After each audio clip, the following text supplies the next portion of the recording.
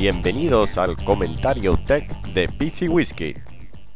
Today we're going to be looking at the free disk partition software from EaseUS. As you can see here on partition-tool.com, they've got a home edition that is free.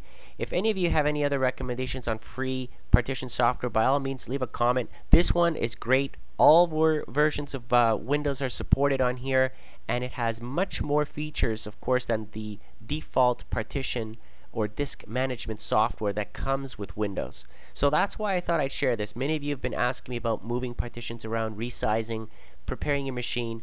Well, I've installed it, I've launched it. Here's an example drive that I have unallocated about 100 megs just for this uh, you know demo. And um, it has lots of features, inc including defragmenting um, and uh, setting your partition as active, hiding it, stuff like that.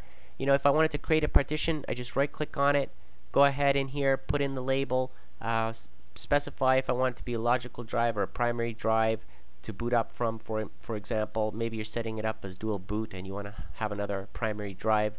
Uh, the file system, lots of file systems to choose from here, not bad at all, okay?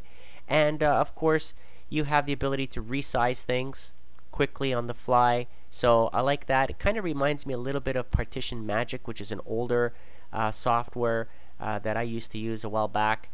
Um, the interface is intuitive. If you're not quite sure, you know, about how, how things work, obviously read the help that comes built in in the software. Um, and uh, it, it's straightforward to me. I mean, uh, for many of you that might not have used partition type of software, disk management software, this is really common.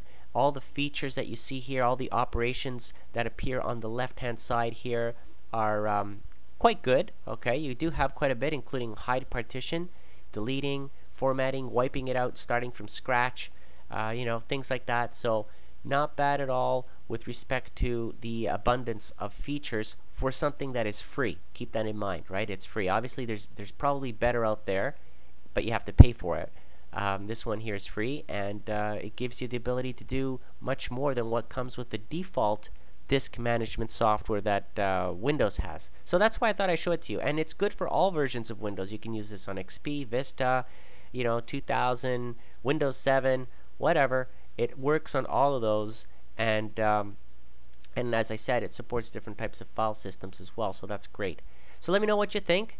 And uh, muchas gracias.